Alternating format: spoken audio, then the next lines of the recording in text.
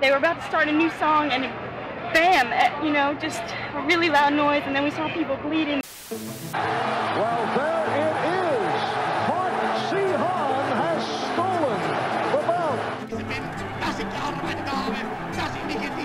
firing was over in a few minutes, and another eyewitness said he counted nine bodies, including that of a woman. Six, he said, were wearing tracksuits. She returned home to find herself an official outcast, forced to live in relative isolation. When you have an age limit, uh, that uh, there is an, a temptation uh, for manipulation. Officially dating back to 776 BC, the Olympic Games have been a catalyst for athletic exploration, mental toughness, and record breaking feats. Having been abolished by the Roman Emperor Theodosius I in an effort to suppress paganism in 393 AD, the iconic spectacle was consigned to the annals of history for more than 1,500 years. But with the advancement of science, technology and exploration characterising the latter years of the 19th century, along with a growing sense of nationalism, the Olympics was finally revived in 1896. Born out of the original idealistic values, the modern Olympics was an instant success, connecting European countries and the US in an unprecedented manner.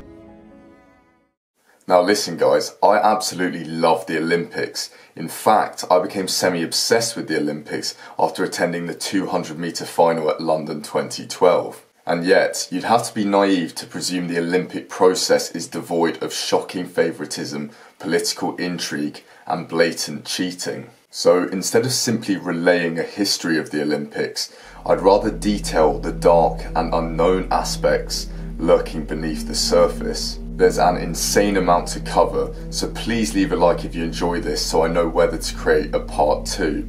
Thanks for watching. The 1900 Olympics, held in Paris, has been labelled by historians as the farcical games, whilst the modern Olympics co-founder, Pierre de Coubertin, described it as a miracle that the movement survived after this disastrous showing. The organisers spread the competitions over a five month period and massively underpromoted it to the extent that many athletes never knew that they had actually participated in the Olympics. A number of athletes passed away never knowing that they were Olympic medalists. The track and field events were held on an uneven grassy field. Jumpers reportedly had to dig their own pits, and the organisers didn't allow for enough room for the throwing events. Consequently, many of the discus and hammer throws ended up in the crowd. Unapologetic neglect. The 1904 Olympics, held in St. Louis, has been covered extensively on YouTube, with the marathon in particular being subject to intense scrutiny due to its lethal and irrational configuration. And yet, something far more sinister occurred in the course of the Games, unearthing the truly evil nature of contemporary Western society. The organisers introduced a separate category called Anthropology Days. Minority tribes including Pygmies, Filipinos, Native Americans and Zulus were compelled to compete in this category in a sick scientific experiment of sorts. Whilst the white athletes competed in conventional track and field events, the anthropology participants were made to take part in mud fighting, rock throwing, greased pole climbing and spear throwing events. This constituted a blatant attempt to demonstrate the inherent inferiority of many indigenous communities, with the organiser James Sullivan being a renowned white supremacist. Fortunately, the Anthropology Days category did not become a common Olympic occurrence. While recording this segment, I came across some audio from 1963 regarding George Benedict Menzies' experience competing in the actual Anthropology Days contests. Unlike the majority of participants, he competed in the conventional sporting events, excelling in all of them. My name is George Benedict Menzies, and I won five first fights in one second. I won for Indian race. After a fairly successful 1912 Olympic Games held in Stockholm, Sweden, many countries across Europe applied for the rights to host the subsequent Games. Eventually, the honour was handed to the German Empire, with the games scheduled to take place in Berlin. Now, if you know your history, you'll likely realise there was a somewhat major event looming in the background.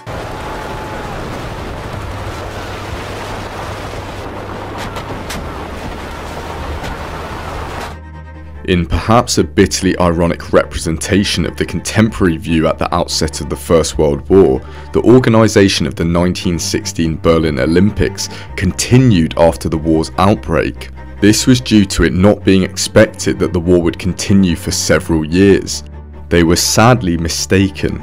Instead of being provided with the opportunity to represent Great Britain in the Games, my great grandfather was conscripted he would go on to be on the receiving end of a bullet in the right butt cheek, courtesy of a German sniper at the Battle of the Somme, the Forgotten Games.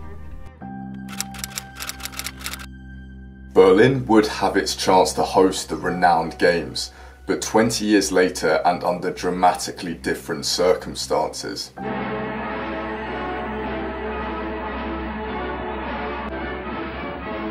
And this is where I get demonetized. Now, there are obviously many dark elements associated with this chapter of the Olympics, but I've decided to pinpoint what I feel is most sinister.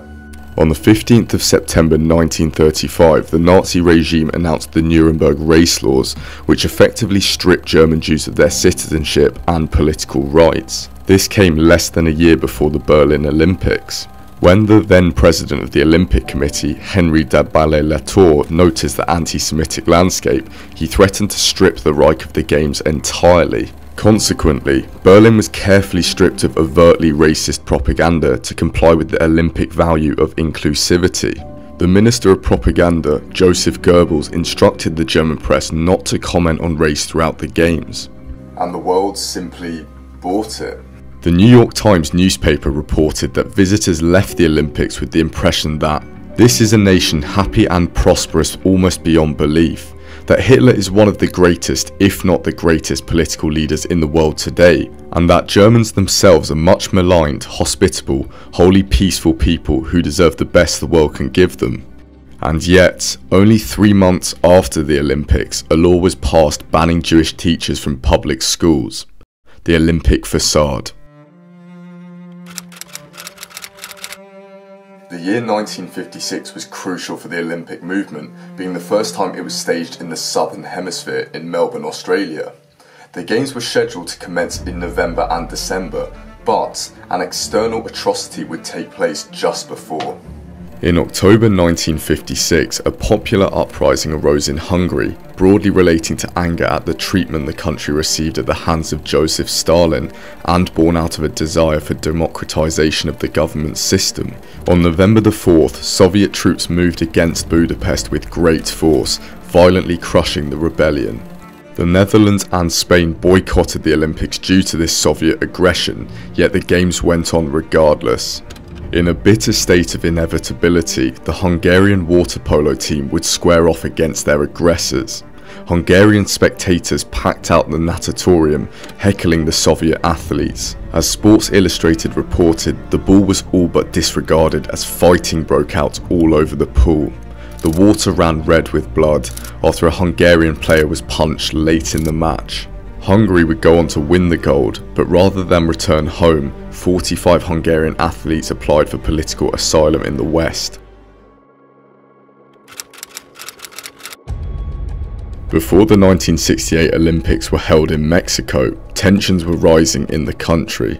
Just 10 days before the opening ceremony, students began protesting in Tlatelolco Plaza on October the 2nd, these demonstrators were rallying against the allocation of vast funds for the Olympics while social programs were unfunded.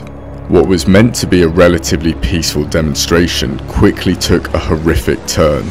The government had stationed around 360 snipers on rooftops around the square, alongside military personnel lining the perimeter.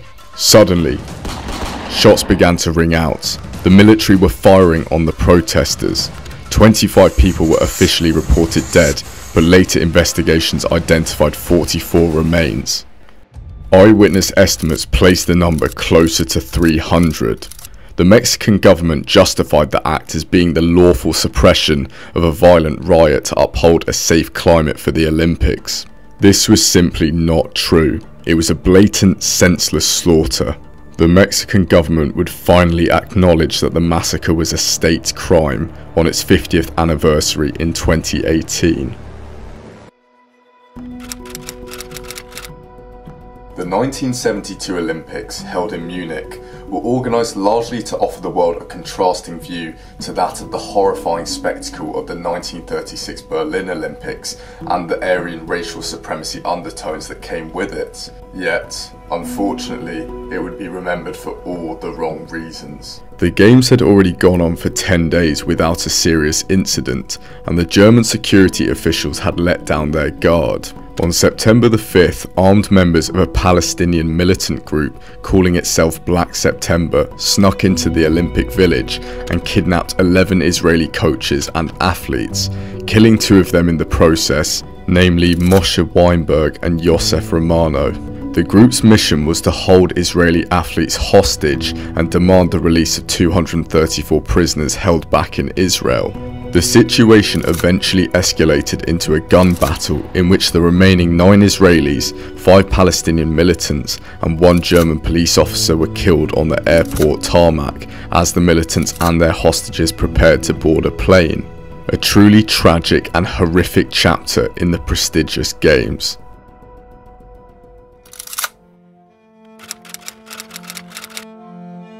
There were many questions asked when Atlanta was awarded the rights to host the Summer Olympics in July and August 1996, with many doubting it had the necessary infrastructure or prestige. The Games proceeded regardless, with the broad consensus being it had gone beyond expectations and was a genuine success. However, on July the 27th, a homemade pipe bomb left in a knapsack exploded amid a crowd of spectators in Centennial Olympic Park. The blast resulted in two deaths and around 112 injuries, with one individual being killed directly from the explosion, whilst a photojournalist died of a heart attack while running to cover the event. Now, the craziest aspect about the ensuing whodunit was the shameless scapegoating. Richard Jewell, a security guard who had actually helped identify the bomb and clear the area, was accused outright, with his name being dragged through the mud.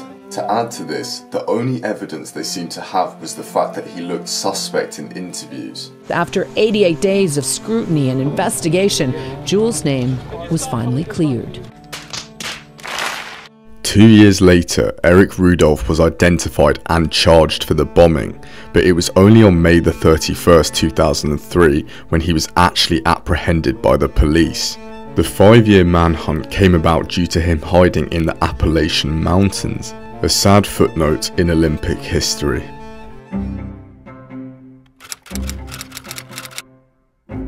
China's unwavering focus on achieving medal targets at Beijing 2008 would inevitably come at a cost. The Chinese government's training regime was ruthless, with parents being unable to see their child athlete for months or even years at a time.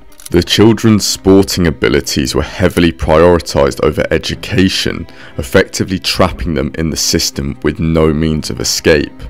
Yang Wenjun, a C2 canoeing champion at the Athens Olympics, told the New York Times about the threats made by officials to him regarding withholding his retirement income if he quit before the Beijing Games. Meanwhile, the 110 metre hurdle champion Liu Xiang pointed to government members telling him that if he could not win a gold medal in Beijing, all of his previous achievements would become meaningless. Not winning simply was not a viable option.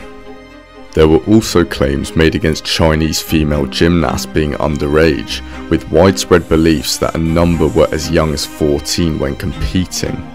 The combination of immense pressure and youthful naivety is truly sickening to consider, especially when noting studies that found up to 18% of Chinese athletes have suicidal ideation.